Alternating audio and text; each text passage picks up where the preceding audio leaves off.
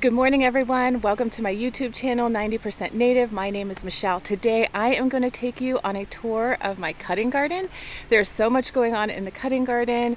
Um, I am still sowing plants. I'm potting up plants. I am harvesting radishes, all sorts of stuff. So let me take you on a tour here in my cutting garden in Northern Virginia in Zone 7A.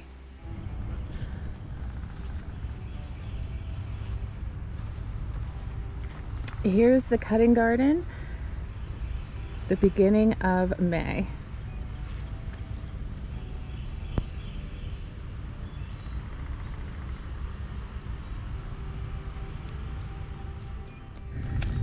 Today what I think I'll do is I'll take you on a tour of the perimeter and then I'll come in the inside of the garden beds.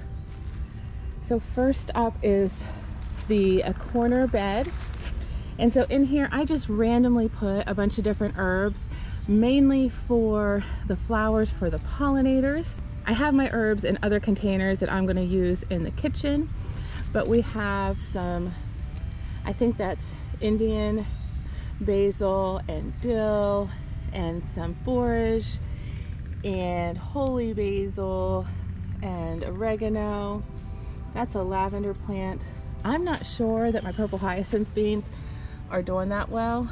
Um, I have a couple more inside that I'll keep a hold of. Actually, that one looks like it's doing something. But I have some more inside that I'll keep a hold of in case I need to replace these. I planted them way too early, just like I did with everything else. and then down this row, this is, these are my dahlias in rainbow order. So I have pinched most of them. And I just like to preface um, any talk that I have about dahlias is from an amateur dahlia grower.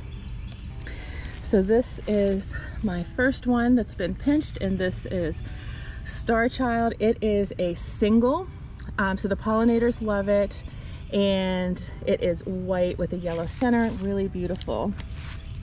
This one has been pinched as well. And it is Dad's favorite. I think this one is called an anemone type. I'm not 100% on that, but um, it has kind of like a ruffle at top and then the, the petals go face downwards. It's uh, a purplish color. And then this one right here also has been pinched this is Purple Taejo. I actually don't really like this one. I think it gets um, these weird bugs. I think they're called earwigs. Uh, and I'm not sure how long I'm gonna grow this one for.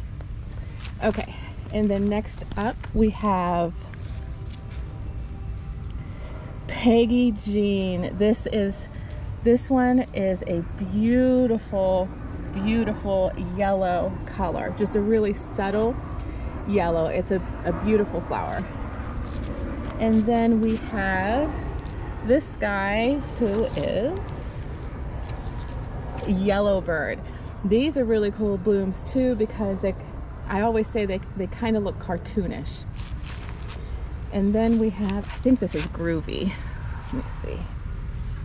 Yep, this is Groovy. Uh, I like to describe this one as like a, a peachy orange and it almost has the petals almost have like a tie-dye effect between those going between those colors. Really love this one. Then here is this guy and it is fabulous. I think this is another one of those anemone type ones. I don't think I have that name right but I'll correct myself on the screen if so. Look this needs I'm gonna pinch that. Yep. Hold on let me see if I can show you I'm gonna pinch this right here and I might try and propagate it. I'm doing some propagation experiments with my dahlias. This one is poodle skirt. So I can't remember what color that one is.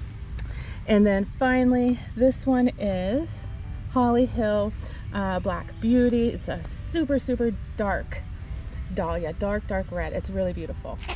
Here is my burgundy broccoli plant with chamomile to try and deter the cabbage white butterflies.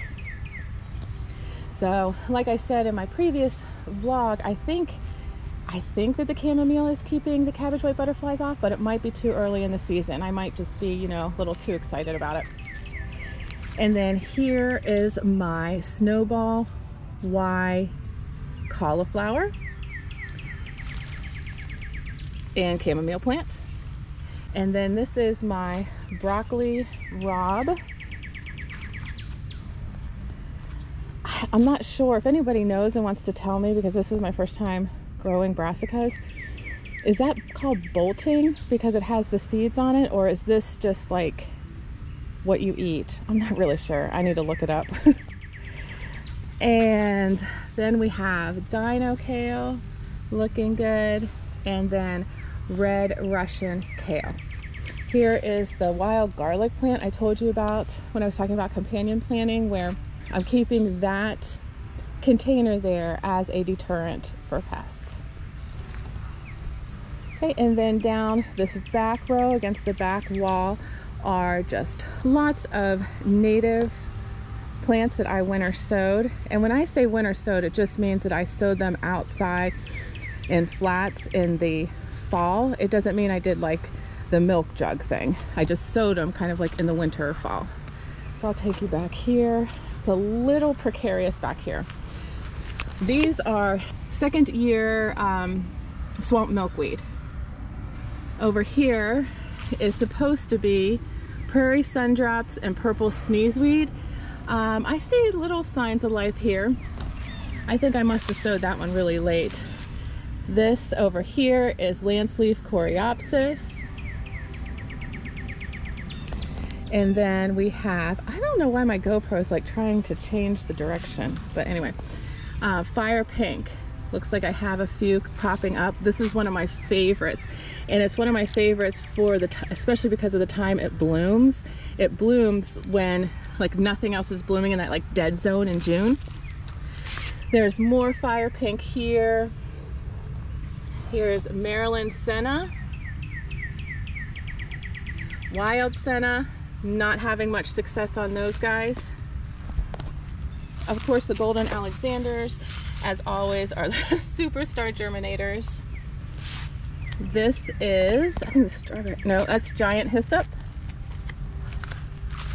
And Virgin's Bower cuttings. What's this?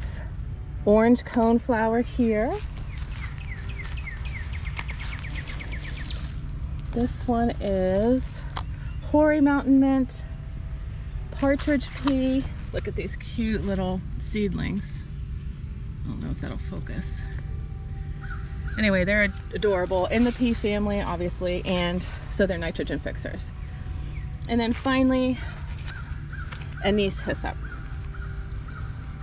So I will try and figure out how to properly use this GoPro um, so sorry about it trying to uh, turn on its own.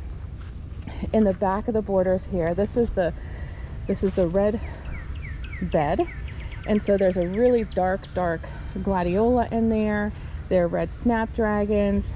They're turtle heads. They're white, but they've just been in there forever, so I leave them. And then I have, this is where I, I planted my parsley, which I incorrectly called celery on my last video. So I planted the celery. Oh my gosh, I just did it again. The parsley around here, around the edges, because they can take a little bit of shade. And then here is a row of red snapdragons. And oh, let me just show you. This is the turtle head here. Here's another one, and I pinch these. So like I could pinch this one here and I could probably propagate it. I might try that. I'll let you know if I do. And then those should all be red poppies. In front of that are the leaves from the red um, tulips.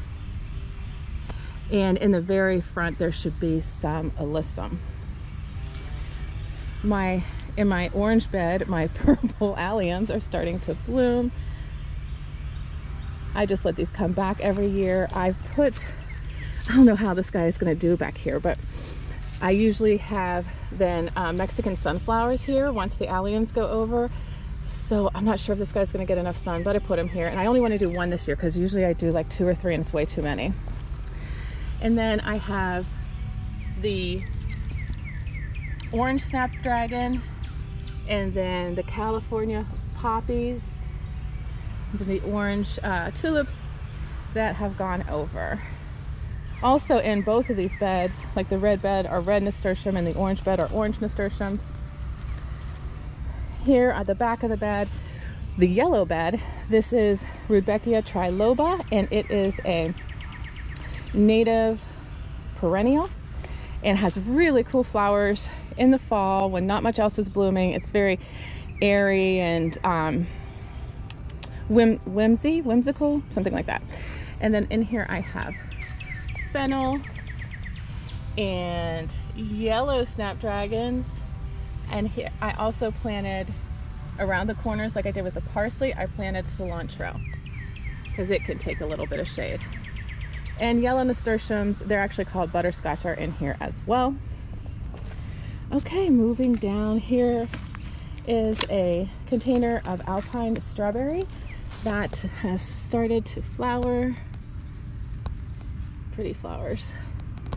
And then I have my Merlot lettuce in here with snap peas. This one is the Magnolia Blossom snap pea. This is spinach with sugar magnolia snap peas. No flowers yet.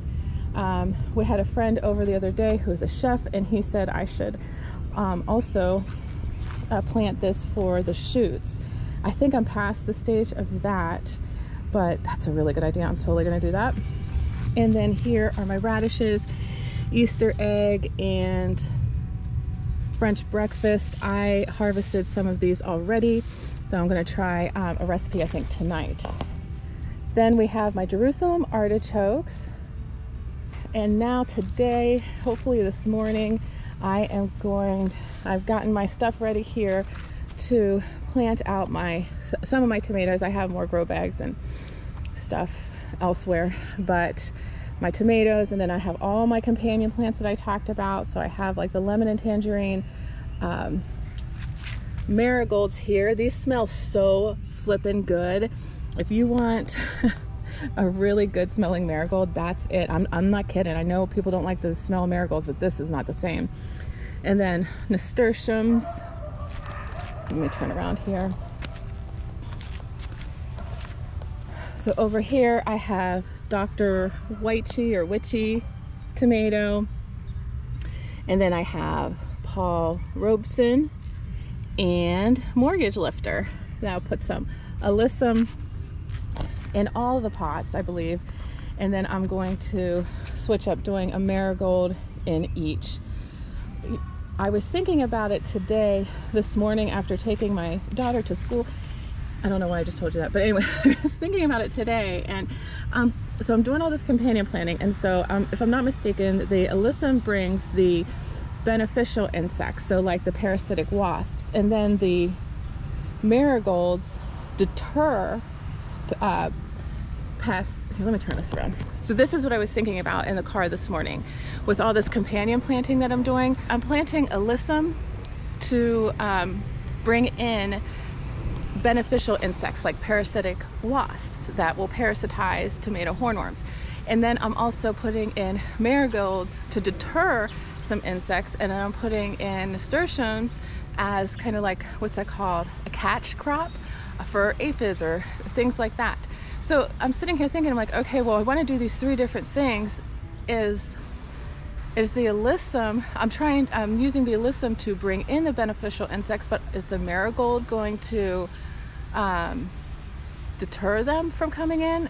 I don't know. So I'm just gonna just do a bunch of this stuff, but I, just so happened to think that I'm putting in one companion plant to do one thing and another companion plant to do the totally opposite thing. So how does that impact the uh, insects that I want to come in. Right? So, do, do the plants that deter pests also deter the beneficial insects? That is the question that I'm trying to figure out. If you know anything about that, please leave me a comment. Okay, so back to the tour. Um, in that bucket are wood chips, so I will mulch my tomatoes with wood chips. Really does a good job keeping the moisture in. Here are more plants. So the lemon and tangerine um, marigolds. I have some sage in here, thyme, and then a new a new batch of nasturtiums and then next to that, I have the alyssum and calendula. I have the rosina and the Pacific Beauty. And then here's some, I think these are classic zinnias. And those will go either in the orange bed right here, like right in the front, or it'll go um, in another one. The, here's a view of the back bed, the red, orange, and yellow bed from the front. These are still about to go over. Well, they're totally, you know, done now. They actually look pink and they're orange. Um, those still look kind of good.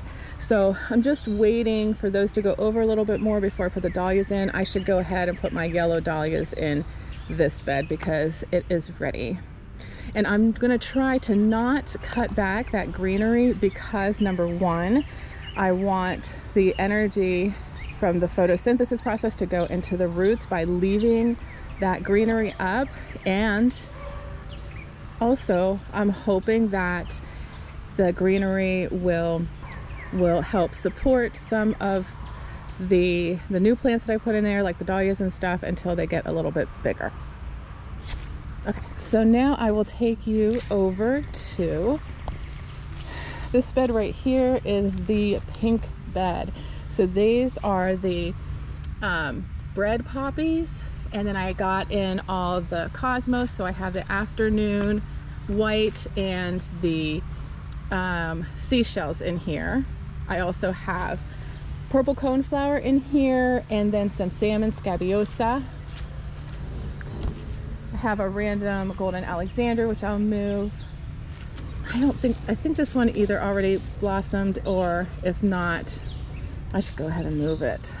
Oh, I also put sweet peas in here to climb up the dahlias. I thought that might be a good a good mix because the dahlias will shade the sweet peas and they maybe they'll last longer here in my garden. In the front here, I have Poppy Supreme. The, the poppies are the next things to bloom. And uh, purple coneflowers. And I did get my zinnias in. So I have zinnia Illumination and Exquisite. They are pink zinnias. There's another random golden Alexander. So the one other thing that's in here in the back with the bit with the like five foot stakes, bamboo stakes, are the pink dahlias. So I got the pink dahlias back there because they can take a little more shade, and then then the zinnias, and I have the zinnias up here where they're to get more sun. So summer so my pink summer annuals cutting flowers are in. Um, for the most part, I still have to put a few leeks in here. I'm gonna put a few leeks in all the beds. Okay, and then over to the purple bed. I almost fell down. I have in the front here, you can see the purple tulips are still there, but um, there's calendula in here. And then right here are all the zinnias that are gonna go in there. And one thing of Cosmos, Bright Lights Cosmos, but these are like the Zinnia um, Isabellina and the Peruvian, Canary, Bird, oh, Mighty Lion. So more of the, the hot colors right here, even though it's the purple bed. So I thought like the orange and yellows would go well with other things that are more purplish. So then I have bronze fennel here. I have three plants. That was one plant and I got four plants out of it. I don't know where I put the other one. And then, let's see, behind I got all of my cosmos in for the purple bed. So this is Rosetta and, and then the afternoon white. These are blue um, and purple and gray poppies. And sweet peas again. Doesn't look too healthy, does it? You know, it's kind of funny that sweet peas are supposed to be like the easiest thing to grow and like I never get it going right. But anyway, I also have borage in here that I seeded and alyssum. I have alyssum in all the beds. So here with the stakes, I also put in all my purple dahlias. So I have Verrone's obsidian and um, a bunch of new ones that I got from Swan Island. Swan Island dahlias. I did a whole video on the ones I was putting in here, so I can link to that. So yeah, that is the purple bed. All the beds have alyssum around it. Um, here I have my trees, and these are all the mulberries. They're the native red mulberry and they're the ones that I'm waiting to figure out which one's male, which one's female, so then I can go plant them out. And then here I have a chestnut oak, two chestnut oaks.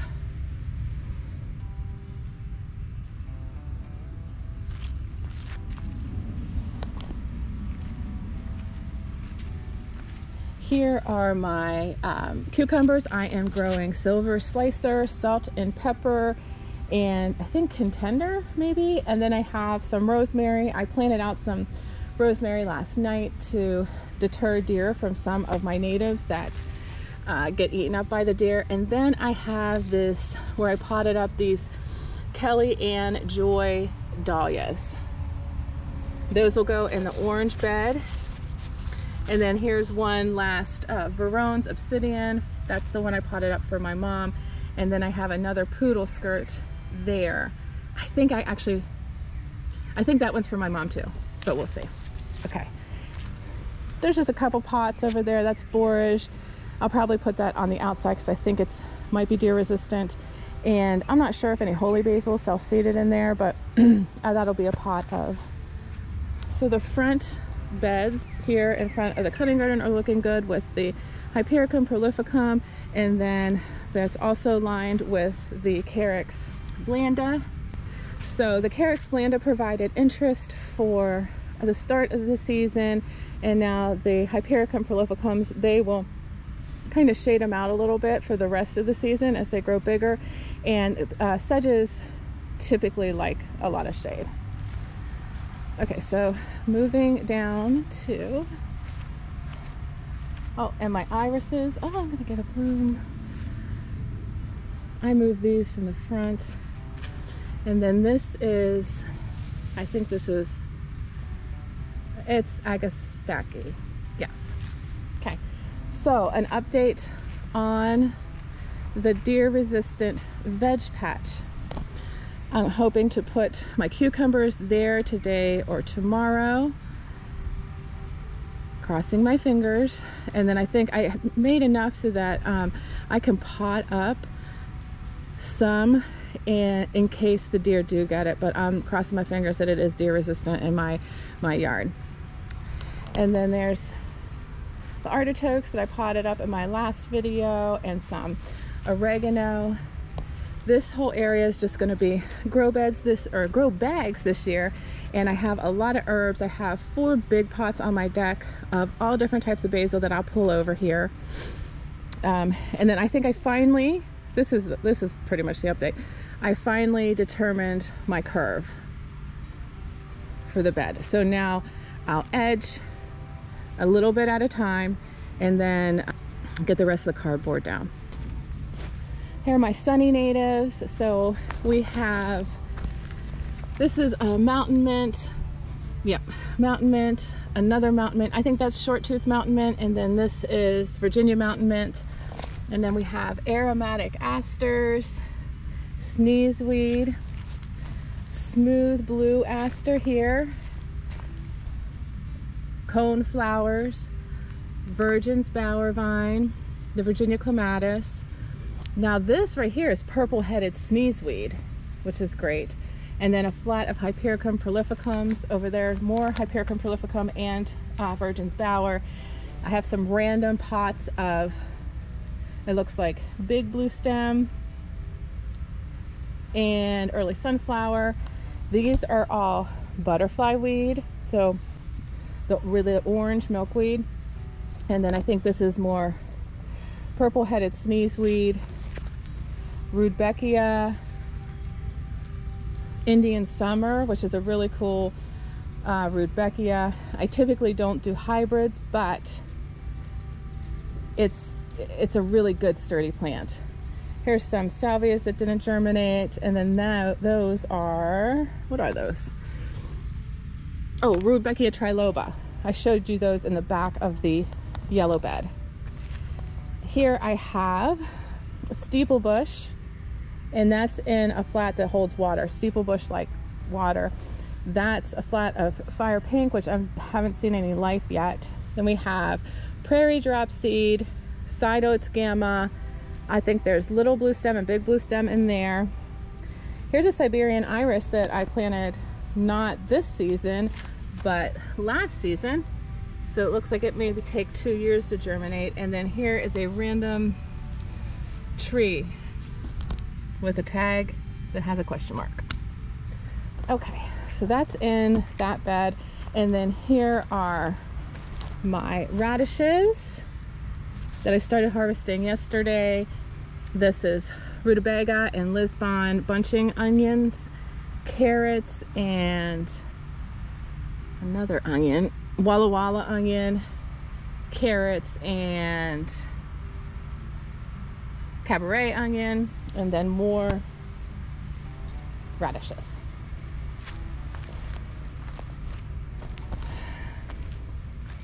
Here are the raspberries, the native black raspberries. I think I'm gonna do some layering with these. I watched a really good propagation um, YouTube video last night or this morning. Um, it's the girl who is now doing videos for the Epic Gardener. I will link it below because it is it was a really really good source of information about propagating plants. Here's a Joe Pye weed that needs, I'm gonna pinch that. I think I pinched that one already. Yeah, I'm gonna pinch this one too. They get so big. I think I'm probably gonna move the Joe Pye weed out of here. It's in here, and then there's little blue stem in here, and then there's also a row of Carex blanda. So I trimmed it up up there to look a little bit nicer. I'll get back here and clean this up. I'm not sure which grow bags I'm going to put back here. I'm wondering if I could put more tomatoes back here because I don't think the deer are going to get in here. That would be a total experiment and if they did, they did, you know, I wouldn't be able to worry about it. Okay, so that is the deer resistant veg patch. It, it's kind of um, a mess right now because it's in process. Let me take you quickly over to the bed on the other side of the cutting garden, which is really looking good now. I mean, no blooms or anything, but it is starting to definitely come alive. Here are my peonies with these buds on them. They are a bright fuchsia. And my whiskey barrel pond, you can see the leaves of the American um, water lily. Marsh marigold's gone over and then here are the irises and the Juncus effusus. There's more. This is a bearded iris right here. And I have some steeple bush around the whiskey barrel and they have a real pretty pink bloom that's real ethereal uh, looking and might be a good sunny type plant if you want like maybe that astilbe look, but it's a little bigger than astilbe. This part of the bed is lined with Carex amphibola, which I believe I'm going to swap out for the prairie drop seed. But here's some of the downy wood mint. Oh, I got a pot in there. Some of the downy wood mint they planted the other day. Back here is a patch of rudbeckia, and then I have some salvias popping up that made it over the winter. Lots of these Lots of these rosettes for the great blue lobelia. That's the lamb's, lamb's ear, not native, but it'll uh, deter deer. That is um, an agastache. So this will all fill in. Here's the bearded irises that I received from my husband's co-worker. And I'm so excited because there is a bloom. Yeah, so just a whole lot of great blue lobelia, irises, sedges,